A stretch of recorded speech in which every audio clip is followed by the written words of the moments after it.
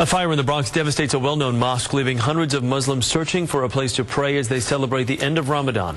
CBS 2's Cindy Hsu has this report. The fire lit up the sky on East 166th Street in the South Bronx around 11 o'clock last night. It started in the basement ceiling of the Islamic Cultural Center and spread to the grocery store next door.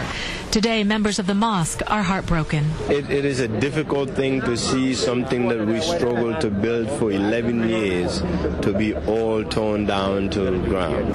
Normally, hundreds of Muslims come to the mosque to pray five times a day. Instead, police have shut down the streets so prayers can be said outside. Muslims have been fasting during the day for a month for Ramadan, and this weekend the community was set to celebrate a holy holiday. If there was no fire today, after the prayer of Juma, there will be a full house here today, and people will be sitting around reading their Bibles and um, talking to each other about the upcoming holiday that is coming. Today, the streets are filled with leaders in the community and members from other mosques who are offering their help and their facilities. Two years ago, this is the mosque where funerals were held for nine children and a woman who died in one of the city's most tragic fires. If there's a tragedy, that tragedy affects everybody in the family. So we all come here equally as concerned. Some of us don't even pray here.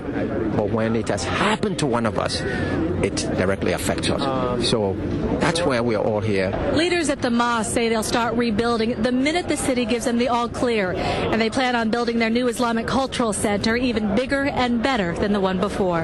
In the South Bronx, Cindy Hsu, CBS 2 News. Investigators say the fire is not suspicious and likely started with electrical equipment in the mosque. Three firefighters suffered minor injuries and were treated and released.